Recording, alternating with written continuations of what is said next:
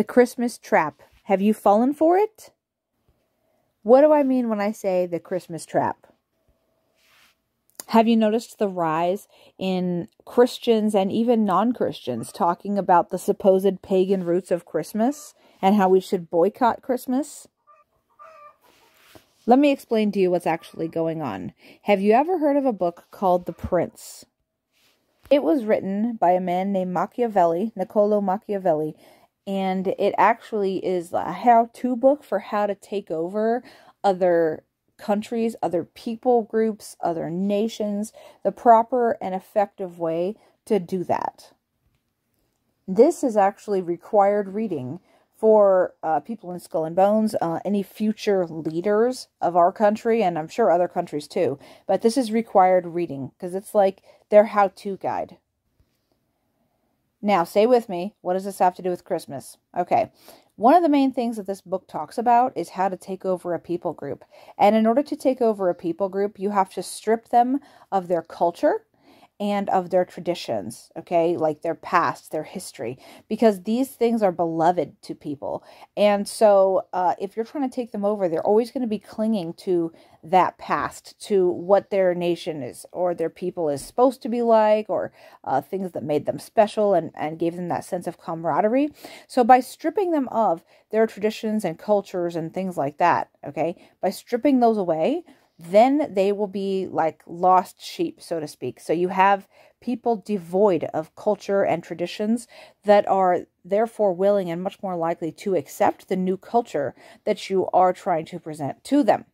What does this have to do with Christmas? This is literally what we see happening. This is the Christmas trap.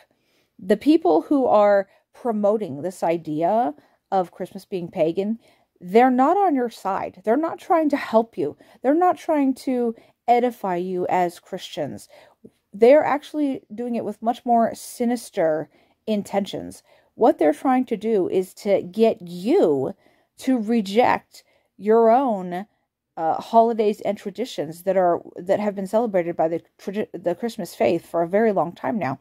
They're trying to get you to reject those things of your own free will which will leave you much more likely to accept the culture that's around you, which in this case is a satanic and a godless culture that they are trying to push, right? This whole trans thing and all the other wicked things that they've got going on right now. They want to strip you of your Christian roots, the Christian traditions that bind us together as Christians, so that you'll be more likely to accept these other things.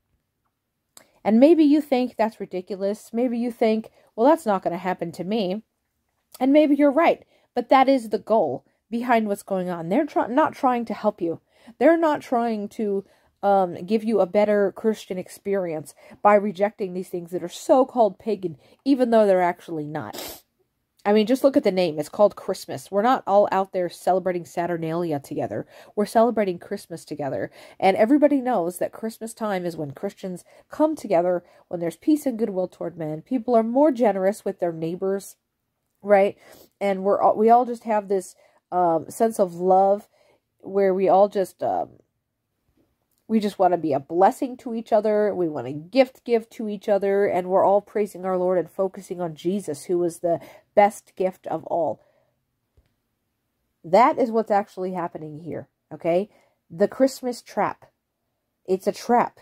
They're trying to trick you into giving up this uh, beautiful celebration we have, this called Christmas, and other things too that we have as a Christian people, so that They'll strip us and rid the world of Christianity. That is the goal. So, have you fallen for the Christmas trap?